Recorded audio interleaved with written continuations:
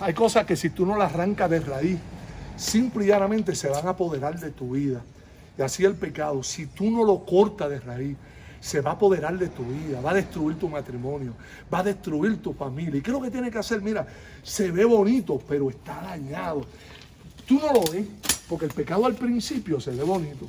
Y tú dices, mano, pero eh, yo le puedo echar algo. Hay gente que lo abonan, que le echan más, comienzan a mirar cosas que lo único que hacen es abonar para que el pecado siga creciendo. Y la, una, la única manera de erradicar esto es tú entender que si tú no lo cortas, esas raíces van a seguir hacia adelante y van a alcanzar a tus hijos, van a alcanzar tu familia. Entonces vas a andar en derrota.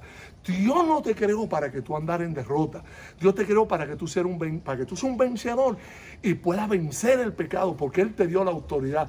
Esto es como la palabra de Dios, que es una espada de doble filo. Y esto, esto puede cortar esto, pero no puede cortar con el pecado. Dios te ha dado autoridad para cortar con ese pecado que te ha limitado, que te ha detenido, que a veces lo justificamos y decimos, ah, pero aquel lo hizo. No se trata de aquel lo hizo, se trata de que tú y yo no lo vamos a hacer.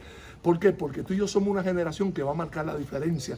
Claro que la Biblia dice, ¿quién comprenderá sus propios errores? Líbrame de lo que me son ocultos. Y tal vez tú digas, ah, la Biblia dice que por cuanto todos pecaron, mi hermano, lo que pasa es que la, Biblia dice que la paga del pecado es muerte.